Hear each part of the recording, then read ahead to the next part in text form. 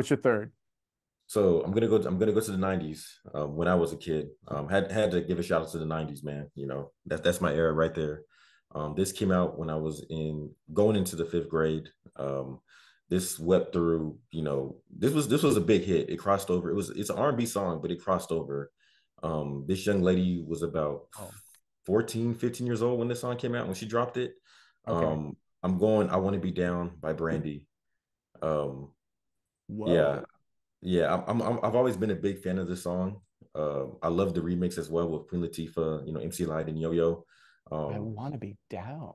Yeah, to me, this is one of those quintessential '90s R&B songs, or just songs in general. Like if you're putting together um, a soundtrack of the '90s, you know, obviously you're gonna put no, uh, you know, poison. You're gonna put this is how we do it on there. Um, you know, kiss, you know, kiss from the rose by Seal and all that stuff. But I feel like this song belongs on that record as well. Um, you know, it's Keith Crouch, right? Yeah, he wrote the song. Yeah, yeah, I um, thought so. Produced it too, I believe. Yeah, yeah. He did a, he did a lot of stuff for a lot of um, artists in the '90s. You know, yeah, he, he did. Yeah, he was he was in the background doing a lot of things. Um, I got yeah. one of those coming too for Slept On. Stay tuned, kids. Oh, Keith Crouch. Yeah, there's another Keith Crouch thing coming. But yeah, I, I love I love the sniff uh, on this song. I love the um the mid it's mid tempo. Um, Brandy sings it beautifully. She's she's always been a great vocalist. Uh, yeah.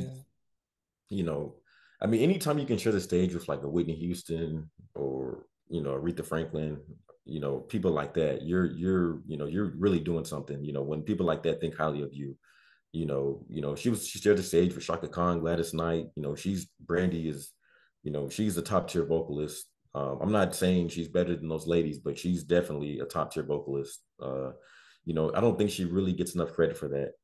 And uh, she does now. She didn't then because her voice was thinner. That was yeah. a voice that, yeah. and we've talked about this before. That was a voice that had to get older. Yeah, yeah. But you and now that it is, yeah, she's great. She, yeah. She's referred to as the vocal Bible because she is. Yeah, and you know it, it's, it's it's a really good song. Um, it, it's it one of those songs that belongs in the soundtrack of my youth. Um, you know, and I feel like I had to put this song on there because every time this song uh every every time this song comes on my iPod or radio, whatever, I listen to it straight through. I never skip it. And thinking about that, that's when I knew, okay, I got to put this song. I got to put this song on my top five because I, I never skip it. You know, and whenever you don't skip a song, you know, generally that means you really, really hold the song in really high regard. And this is one of those songs for me. Uh, you know, it's, you know, the, the lyrics are pretty simple. You know, um, it was basically geared towards, you know, the youth, you know, the between the ages of 11 and 18 or 11 and 21 but it your works. age your age bracket yeah yeah yeah it was aimed and, right at you bro like yeah and it's it's an r&b song through and through oh but yeah it crossed over but it crossed over and it, and it, it became a big pop record and well, because at that at that point pop radio was going to r&b that they is were true. looking for r&b songs so yeah I that is true because less than a year later Montell Jordan hit the scene with this is how we do it um, you know, yeah, Candy Rain hit, you know, came out, you know, TLC was doing their thing around this time. Um, so yeah, that make that makes sense, you know. Yeah. Um, but yeah, I, I, I had to, I had to put I want to be down on here. Um, and even oh, yeah. the remix, the remix is basically, you know, Yo Yo, MC Lyte, and Queen Latifah, you know, rapping over this beat with Brandy doing the vocals in the background, and even that works. I love that version too. yeah. Honestly, I can't. I, I don't know which version I like more, that version or the hip hop version, but um, yeah, great song and um, quintessential '90s listening. If you're gonna make a '90s soundtrack, this song definitely belongs on there. She had a few like that. That fir- that entire first album because I it, it's it's funny because I just I didn't think of that song, but I love it every bit as much as you do for sure. I remember hearing yeah. that song and like, you know, doing doing the run to Tower Records that I was known for doing back then. Just immediately disappeared and got in the car and grabbed the CD. Like had to have it. Yeah and the whole thing is fire. I mean, my yeah. gosh, she was positioned so well, and yeah. she already had she she already had most of her chops. I mean, her voice was what it was at that point. It was thinner because she yeah. was younger, but she still sounded great. There was no getting oh, around oh, it. And when she would she would perform live, she was pitch perfect. Yeah. So she already had it. She just needed to get older and for the voice to deepen. And by the time she got to Departed, my gosh. Yeah. Like this is what it was supposed to be. Yeah. but at, but even at its beginnings, all the potential was already there, and she delivered the tune like she didn't just sing the surface of it; she understood it and delivered it so well. And Keith Crouch's production, my gosh, Yeah. I mean, And and I love that this this song runs over five minutes, and I love that. it doesn't bother me at all. Yeah, I feel the same not yeah, same here. Like I can listen, I listen to every bit of that song every time it comes on. Oh No yeah, I hate the dude. The radio edit is the devil. I hate it. Yeah, Oh, I hate it. I don't go anywhere near yeah. it. This Yeah, song is, let me see. Okay, maybe it's a shade under five minutes, but it's about four minutes, 50 seconds. But I mean, still like, yeah. and I don't, re frankly, I don't remember radio over here cutting it either. I think you we know what? got the full version here in DC. yeah, I know we did in LA because, you know, Brandy was, you know, she was out here in LA at the time, you know. Yeah, yeah, she's an LA girl. Yeah. Yeah, yeah. So I, you know, I, I love the song, man. It's, it's, it's great. You know, I, like I said, Oh no yeah. skips anytime. I've never, I never skipped a song. Yeah, same. I don't either.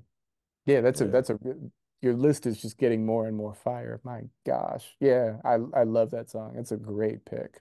You could yeah, you could pick so many things from her at that period though. But yeah, yeah. Because sitting with sitting, sitting up in my room was a really good track too. Broken Hearted. Come on That was now. with Wanya, right? Wanya Yeah, Morris. this They is did that song Wanya. Yeah. Okay. Yeah, with Yeah. Wanya, yeah. Yeah. And then Yeah. her second album has some has some cuts in there too that could have made, you know, any 90s list or whatever. You know what I Angel in mean? So Disguise. Come on, bro. Yeah. Joe. Yeah. Jeez. Just who would have yeah. Rodney Jerkins is crazy for that. Like just Yeah. And you know, you know another song that I love from her? It's on their mm, second album, Never Say Never, which was the title track. Love that as well. Feel you, feel you on that. There's a Yeah. there's so much good on that record. I mean, uh, uh, uh, uh Have You Ever is really good. That's one Dave. Yeah. That's that's one from the David Foster template, but it really works. Yeah. One Voice is great. Tomorrow Yeah. is great. Like put that on everything. Like yeah, sitting on top of the world. Yeah, that that the record from beginning to end. She's like Yeah. that's I think that's her most solid like album front to back. Yeah. Yeah. And it's unfortunate, like you said, when she got to departed, her voice was was amazing. But by then she wasn't really center stage like she was in the 90s, you know. Yeah, and it just she'd gotten older and unfortunately just the audience had moved on, which is unfortunate because that song was every bit as good as the stuff that had come before it. If it Oh frankly, if yeah. not better. And the car Yeah. accident didn't help either, and there was bad press associated with that. And um Uh, What was what, what personal with the, life with the car of accident? I'm sorry. What happened with the car accident? Yeah, she got involved in a car accident that killed somebody. Oh, oh yeah, okay, I do remember that. And the and the press was not pretty, of course. So Yeah, that that was unfortunately that was that that, yeah that that had an effect on things too at that point because she was still kind yeah, of dealing with it. But man, she sounded good on that tune. yeah, Um, but yeah, I want to be down is a great pick. It's I love that we're picking things that neither of us is thinking of. That's that's very yeah. funny. Um, but yeah, okay. So so here's my third. When you said 90s, I got nervous because this Where, pick where, is where'd you think I, where'd you think I was going? We are we are similar enough that I feared you might go here. Okay, So the year is 1991 for this. okay. Um, and it's the second tune that they put out after Are You Free, which was a mistake. Um, a big, big mistake. But thankfully they were able to recover from it. Um, but they put out Pretty Brown Eyes. Um, and I was through. Do you hear me? Through. Um, man. right? Um, I couldn't believe there was another one where I couldn't, I heard it on the radio. Like I didn't even, the song didn't even finish. I got to the sax solo, that incredible sax solo by Jeffrey Allen. Mm-hmm. And I turned, I was at home and I turned off PGC and got in the car. You know the rest. Um, sometimes you just got to do things. I, I love that era because that's what we had to do. You couldn't download it. You had to go buy it. Um, yeah. and it was there, We, there we, was a we lot talked of about that too in another podcast. The we thrill of having to search for a song. Yeah, Yeah, that was there was a lot of fun in that. But I remember doing that a lot at that point. yeah, And all I had to do was get to that sax solo. and I was done. I had to have the whole Oh album, man. and I was Yeah. rewarded. The whole thing's that good. Yeah. Um, but Pretty Brown Eyes just absolutely blew my head off. And it was finally because up at up until that point we had I, I forget did Joe Public I think Joe Public came right right around the same time with Live They were a little bit afterwards. They were a little bit it a little after? Yeah. Okay. Okay. I couldn't remember because I Public. well wait a minute. No, because they did uh Keep It Coming, which was on Keith Sweat's record. So I think that was at the same time. Okay, yeah, that was 91. That was Keith's third album, correct? Yeah, because they That did his that yeah. first Okay. and then they and then he got them Live and learn. yeah they got live and learn and Okay. a couple of other things we don't really need to talk about because live and learn was about all they had in the in the chamber Yeah. But they they couldn't carry that any further than that one tune and even that one song is pushing it but it the groove is so hard that it's Yeah. yeah Um, got to live and learn. Yeah. I like it. yeah but it, it it was so well produced thank you Lionel Job I we appreciate you we Yeah. give we I hereby give you your flowers for that one Yeah. um, they barely had enough lyric to get through that one. But uh, but yeah, um, right. Other band, Mint Condition. Thank you. But the two of them, the, those two bands, kind of opened up the idea that you could actually have an R&B band because up until that point there really weren't any. Well, wasn't Tony Tony Tony? They were doing something similar, weren't they? At least not. No, but I'm saying like even then. It was like those were the three. I, I didn't mean to leave them out, but it's like those were the three, kind of the big three at that point. Yeah. And definitely Tony, Tony, Tony was first. Yeah. With Little Walter, and then with the, re- the whole revival album and, and so on Yeah. and so And, and Ralph and Stokley, man. Raphael and Stokley, they they go hand in hand. They do. They really do. Yeah. Like they could have swapped groups and they wouldn't have missed a beat. Yeah, but I, I think the major difference between Tony, Tony, Tony and and and Mint Condition is that we're dealing with a whole band here. And a Yeah. lot of those guys can switch instruments too. Yeah. Uh, because they weren't all like Jeffrey's a great piano player too, on top Yeah. of being a great sax player. Stokley can play guitar and he can play drums and he can sing his face off. Yeah. et cetera, et cetera. The only reason they have a drummer, Chris Dave, who's fantastic, by the way, is because they want a front man. They want Stokley out front to sing. But in the studio, he'll play anything. He doesn't care. Oh yeah. Mm, just to just still doing his thing to this day too. yes, Still doing his thing. yeah, definitely. Still sing, still singing the songs in the same key. Yeah. She Frightening. amazing track. Yes, yes, and the writing by by Waddell and just Yeah. what an incredible tune.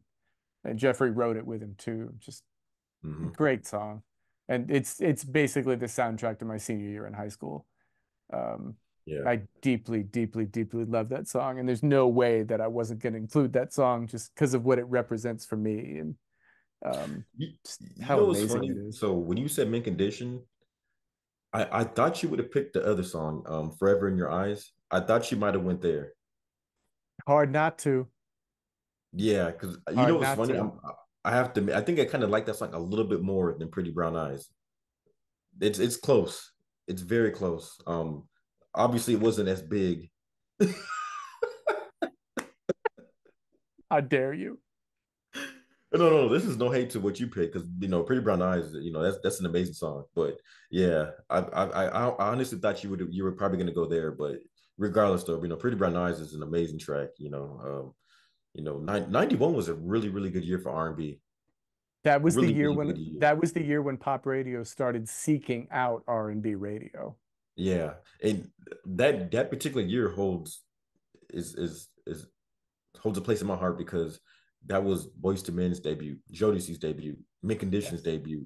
Um, who else came out? I think I don't know who else was. Um, yeah, Color Me Brown. I mean, yeah, Color Me Badd. I'm sorry. Color Me Brown nice Yeah, yeah, but I'm uh, yeah, Color Color Me Badd. Uh, I think they hit, Color Me hit. Brown ladies and gentlemen Yeah, I, and I think Low Key came out that same year. I got a thing for yep Yeah, low key. Yeah, so that was that was a really really good year for R and B. Um, It was. Yeah.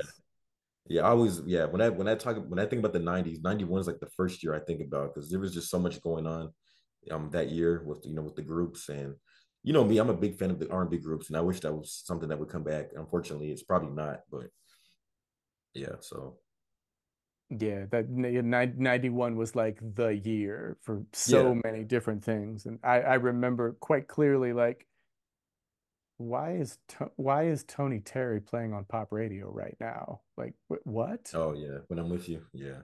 Right. Uh, why is Gerald Levert on pop radio right now? Yeah. Why is Mint Condition on pop radio right now? Like PGC, this will make no. Well, PGC was like the the urban contemporary station here. It's like mm-hmm. pop radio sounded like PGC for a minute. It was okay. really cool. It's like yeah, finally, like you're you're getting the secret that that like we're holding over here. Like you're finally hearing it. Yeah. And it was just it was it was so amazing. And like Forever My Lady by Jodeci is on pop radio. What? Yeah, because huh? Jodeci is not pop. Jodeci is not no. pop whatsoever. Not at all. They they make zero concessions to pop radio. Never did. They didn't do that until they broke off when the two brothers broke off, you know, in the late 90s and did their thing that they tried to actively go into that market, but and that worked as well too. But I don't even know that yeah, they tried that hard even then. I mean, I guess we could argue about all my life. All my life is definitely a that's definitely a crossover record. When I when I listen to that song, I mean it's an R&B song, but it feels like they were trying to right. go in that direction though. But like the way the way that the way JoJo sings it, like he don't sing it like a pop star. Like yeah, he's not. Yeah, but when you listen to like the melody and everything like that, it, it feels radio yeah, friendly. It, pop it is. You know, very major. Like it's not. It's, it's not DeVante. You know what I mean? No, definitely not. Yeah, yeah, definitely yeah. not and maybe that's maybe that's where I'm going with it. Like DeVante was not he was a hip hop R and B guy. He was definitely not a pop guy. So oh yeah, he didn't even they didn't even remotely try with that record. And Al Al B. Sure co-produced Forever My Lady, and yet yeah. here it is on pop radio, and no one none of us could make sense of it. It was like what? Yeah, it it, it made sense with Boyz II Men because it seemed like they were going in that they were trying to go in that direction. Little Motown. To, yeah. yeah, yeah. So they want yeah, Motown. Motown has historically wanted both. Yeah, yeah. So, and they've historically gotten away with it. And with Boyz II Men, they certainly did